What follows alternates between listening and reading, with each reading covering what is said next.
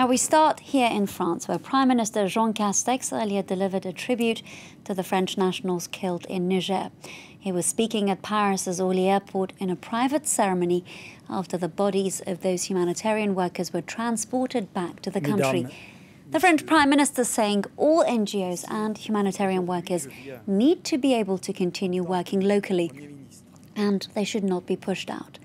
Castex was joined by several other senior French ministers. Now, for more, I'd like to go back to Erin Ogunkeye, who's at uh, Orly Airport for us. Erin, thank you again for joining us.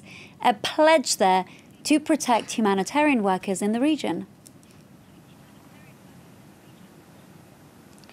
That's right, exactly. Uh, Prime Minister Jean Castex didn't go into very much detail about this this this pledge, uh, just reiterating really that humanitarian workers, as you mentioned, really need to be able to do their job, that they do essential work, that they are totally independent uh, from from the government, neutral actors, uh, and that they need to be able to continue doing that safely all over the world. Uh, so Prime Minister Jean Castex said that what he uh, and the government have vowed to do is to work towards strengthening humanitarian laws, international humanitarian laws laws, and then in addition to that, working towards concretely protecting French humanitarian workers all over the world uh, so that they can do their job safely.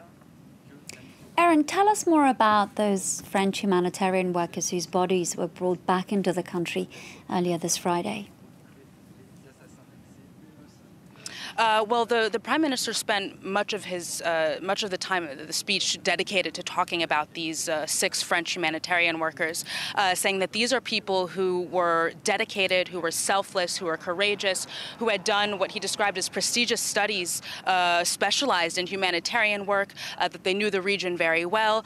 he made a point of emphasizing again that these were humanitarian workers and not military. They're not there to represent the government. They're unarmed.